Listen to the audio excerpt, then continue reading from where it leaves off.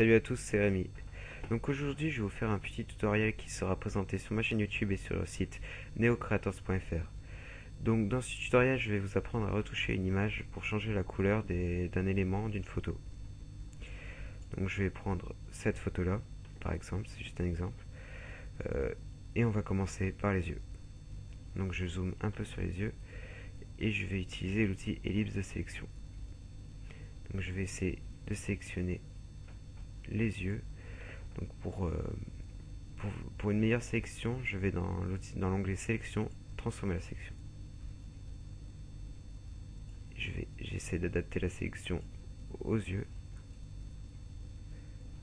Même si c'est pas parfait, après on pourra gommer les contours.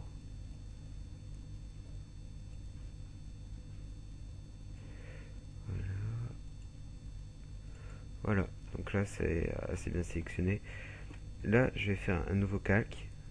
Donc, je vais cliquer sur cette icône-là, nouveau calque, et je vais utiliser l'outil pinceau. Donc, j'augmente la taille du pinceau, et je vais prendre comme couleur la couleur euh, que je veux appliquer aux yeux. Donc, je vais prendre euh, un bleu assez clair, voilà, comme ça, et je peins, voilà et j'appuie sur CTRL plus D pour désélectionner. Ici, je vais passer mon calque en incrustation et je vais prendre l'outil gomme. je réduis un petit peu et je gomme un peu les bords pour mieux l'intégrer aux yeux, pour mieux intégrer la couleur aux yeux. Le reflet, je gomme le reflet parce qu'il doit être blanc et la pupille pour qu'elle soit complètement noire. Voilà. Alors c'est fait sur un œil, maintenant je vais le faire sur l'autre. Je reste toujours sur le même calque.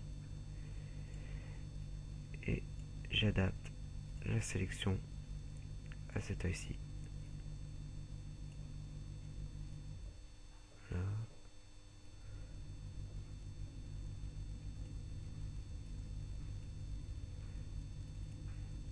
Voilà.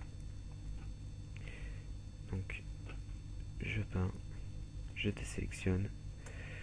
Là, je remarque qu'il y a un bout qui est pas très bien peint. Donc, voilà. Et je prends l'outil gomme. Puis, je gomme légèrement les bords. Voilà. La pupille. Et le reflet ici.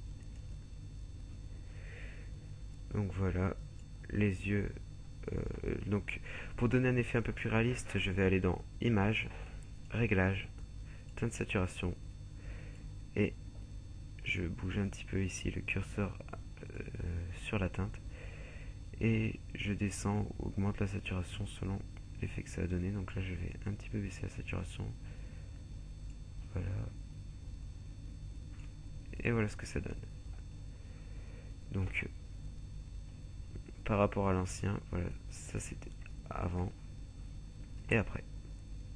Donc on voit que ça donne un effet plutôt sympa. Donc je vais créer un nouveau calque et je vais essayer aussi de donner un effet euh, rouge à lèvres euh, sur les lèvres. Donc je vais passer directement le calque en incrustation, prendre l'outil pinceau et en couleur je vais choisir un rouge plutôt clair, voilà comme ci. Et je peins grossièrement les lèvres. Voilà. C'est vraiment grossier. Voilà.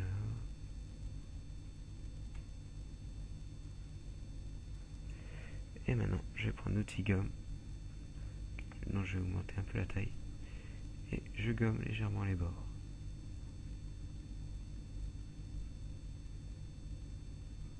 Voilà. Faut être assez délicat donner un assez bel effet. Si euh, il y a toujours des problèmes, vous pouvez toujours changer la taille du pinceau et descendre la dureté à 0%. Là, j'ai plus diminué la taille du pinceau. Et voilà. On change avec euh, l'outil gomme, on intervertit les deux. Voilà. Faut que ça soit assez précis pour donner un effet encore plus réaliste. Vous faites et vous baissez un petit peu l'opacité. Voilà. Et je vais encore ici. ici. Voilà. J'intervertis avec l'outil gomme. Je reprends une dernière fois l'outil pinceau. Et voilà. Donc, vous pouvez faire comme avec les yeux, aller dans Images, Réglages, Teinte et Saturation. Et bouger légèrement la teinte et la saturation. Et voilà ce que ça donne.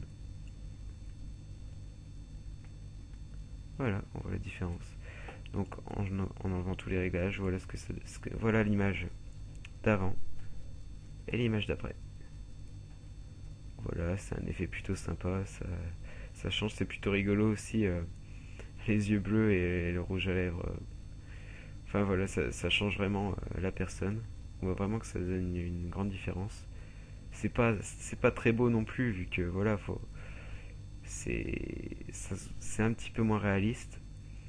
Mais ça donne un effet plutôt sympa. Vous pouvez retoucher des images de vos amis, etc. comme ça. Et c'est plutôt rapide. Donc voilà, j'espère que ce tutoriel vous aura aidé. Et euh, on se retrouve pour un prochain. Salut à tous.